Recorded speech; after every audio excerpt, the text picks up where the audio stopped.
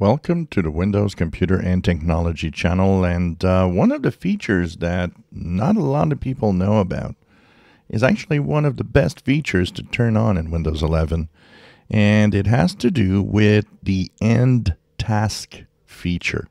For those that don't know what that is, it's a way to, of course, end any process that might be frozen, might have problems but there's one of the things you don't know is that when you use an app, you actually have the ability to right click on it and have an end task in the contextual menu.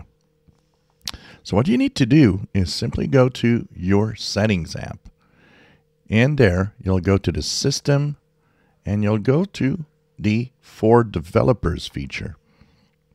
Here you'll see End Task. Enable End Task in Taskbar by right click. Turn this on.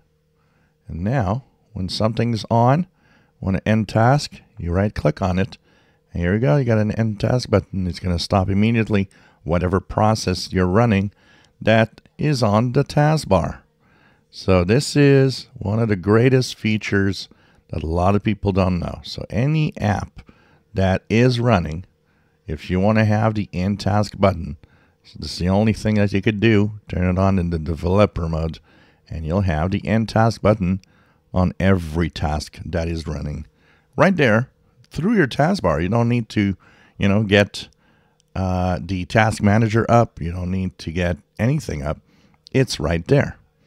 If you enjoy my videos, please subscribe, give us thumbs up. Thank you for watching.